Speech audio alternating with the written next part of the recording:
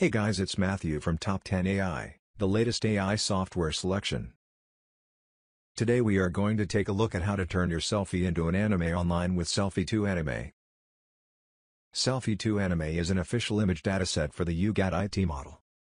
It is totally free now.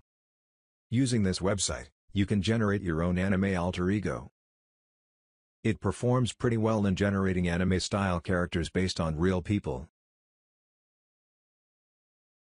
Now, let us look at how to use Selfie 2 Anime to transform your selfie into anime character in 3 easy steps. Step 1. Upload your portrait. You need to upload a selfie to from your device you want to turn. Step 2. Crop the image to avatar size. Next, you need to crop the photo to your face, then click Turn Me into Anime.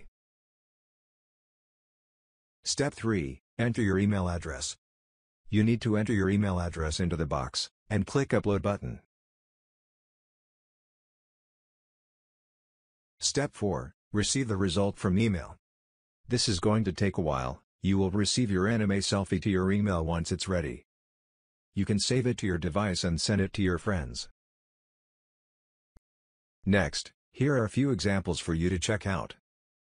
It distinguishes the foreground and background. The good news is that there is not too much distortion on the whole. The outline of the figure is clear and the color is closed.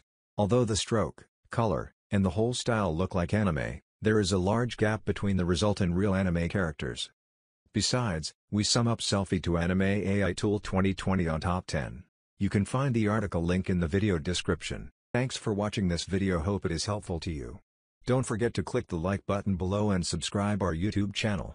If you like it, Please consider connecting with our official website for all about top rankings of AI. See you the next one.